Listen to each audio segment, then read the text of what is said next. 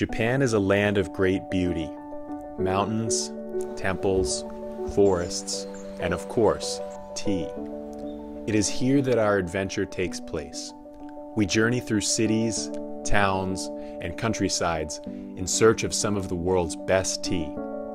In Japan, tea holds a special place in people's hearts. To some, it is a livelihood. To others, it is a ceremony, and to us, it is a never ending quest. Every trip to Japan holds new lessons, new acquaintances, and new stories. This particular story begins in Tokyo, Japan's largest city. In this city, we see how tea has found its way into people's lives. We explore the innovative ways they have adapted this ancient drink into the modern age. We then head into the fields of Shizuoka to visit a few small family farms and see how they are making a living off tea farming without the use of pesticides or chemicals. We then head off to the old capital of Kyoto to trace down the origins of tea. From the sacred halls of Buddhist temples in Kyoto to the tatami mats of tea houses in Uji, tea played a crucial role in the development of medieval Japanese culture. We make a few stops at key historical sites along the way and examine what role they played in making tea what it is today. Finally, we head out to the south island of Kyushu and explore the unique climate of this volcanic subtropical island. The soil here is rich and the climate is mild, making it ideal for growing organic green tea. Throughout this quest, we find an even deeper appreciation for what this drink means. In the last thousand years, tea has found a way to touch every single strata of Japanese society. Tea has a kind of magic to it that draws people in from all around. Whether they experience the ritual of the tea ceremony or simply enjoy a cup of tea with a friend, there is no doubt that tea has the power to transform. This is the purpose of our quest to capture the magic of tea and to share it with the world.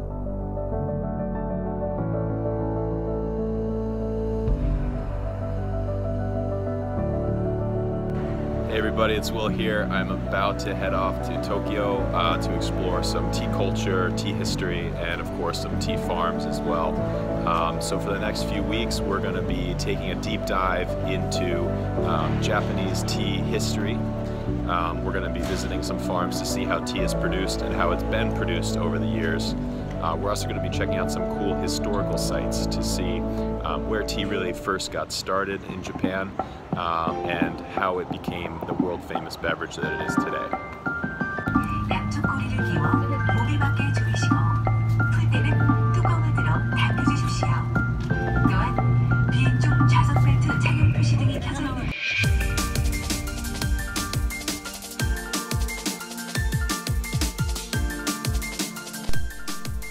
Immediately upon arriving in Tokyo, I was reminded at just how much there was to do in this city. At times, Tokyo seems to be a constant barrage of lights and excitement, but I wasn't interested in that. I was on a quest to find tea. No, not that kind of tea. This kind of tea. My first stop was a tea shop called Sario, a place that just recently opened in the last few years. This tea shop was an attempt to breathe some fresh life into Tokyo's tea culture. Hey everybody, I'm in a quiet neighborhood in Tokyo right now, about to go into Sadio, one of the world's first drip green tea cafes. Rather than preparing the tea in a teapot, at Sadio, they place the green tea into a ceramic cone with a wooden stopper at the bottom. After letting the tea sit for a few seconds, it's then ready to pour out. By lifting up the ceramic cone, the tea pours through the small holes in the wooden stopper and into the pitcher. The tea is then ready to be served to the guest.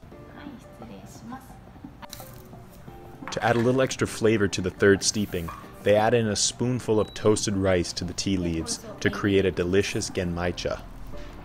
Normally, the flavor of a green tea begins to fade at around the third steeping, so this is a way to make the third steeping just as exciting as the first. One thing that really interested me was this clear teapot they had on display. This is essentially a modern version of the traditional Japanese Kyusu teapot. This teapot is perfectly designed to match the lifestyle of the modern Tokyo tea lover. It is unbreakable so it can be taken with you to work, it can be cleaned in the dishwasher, and they can be stacked together to save space. While some tea purists may object to this, it is just one of the many ways that Japanese tea companies use new innovations to keep up with changing consumer habits. This made me curious to find out other ways in which tea culture was evolving. I headed out to Shibuya to see how people consume tea in one of Tokyo's busiest wards. In the popular department store Don Quixote, you can find an entire wall dedicated to bottled green tea. So I finally found the product I've been searching all over Tokyo for. This is the Matcha Love from Ito En, um, and it's a traditional drink with a surprising new twist. And that twist is when you actually twist this cap here, it releases a chamber of pressurized air that pumps the matcha into the drink, and then you just kind of shake it up here. Bottled green tea is now the most popular form of tea consumption in Japan. This is thanks to the vending machines located at nearly every street corner in Tokyo. They keep the drinks cold in the summer and offer some hot drinks in the winter.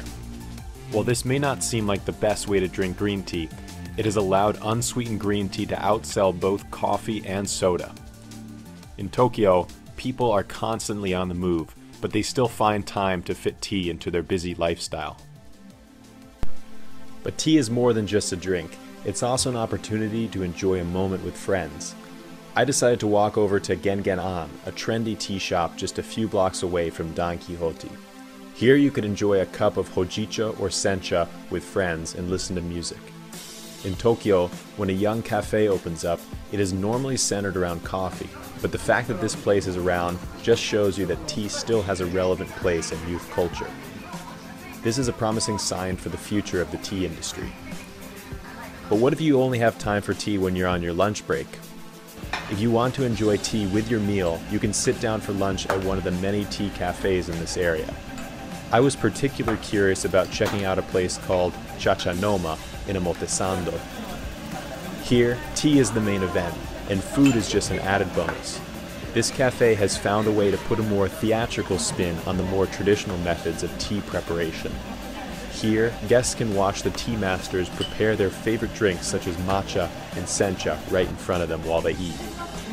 They also are able to make koridashi, an ice brewed tea that uses the water from melted ice to make a delicious and concentrated cold brew.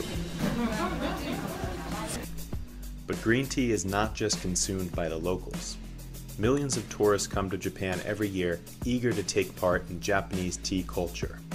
Of course, more often than not, tourists are consuming tea in the form of matcha ice cream, matcha sweets, and matcha Kit Kats. In Japan, wherever you find tourists, you are sure to find these matcha desserts as well. The matcha desserts, like the ones found here outside Asakusa Temple, are made from lower quality matcha powder known as culinary grade matcha. This matcha is often very bitter, and so it is usually only used alongside cream and sugar. Ceremonial grade matcha comes from shade grown, first harvest leaves. The leaves then have their stems and veins removed to make them even sweeter.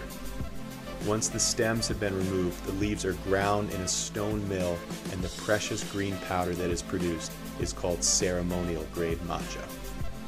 Because it is naturally sweet, it is simply whisked into water and drunk without any additives. This was the type of matcha I would be encountering later on in my adventure. Finally, I wanted to see where I could purchase high quality, single origin green tea in Tokyo. I headed over to Ginza to check out Senchado, a place that looked like a tea shop straight out of the future. Here they had cold brewed sencha on tap and walls filled with packets of single origin green teas. They also had a small selection of food pairings like smoked pistachio, dried fig, and cinnamon almond. After browsing through the packets of green teas, I was reminded of my own tea adventures through the fields of Shizuoka and Kagoshima. I was anxious to get back out into the field and experience true Japanese green tea right from the source.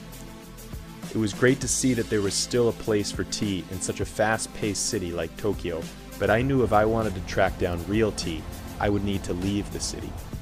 Just a few miles outside Tokyo, there is a beautiful land of mountains and fields of tea as far as the eye can see. I'm speaking, of course, about Shizuoka.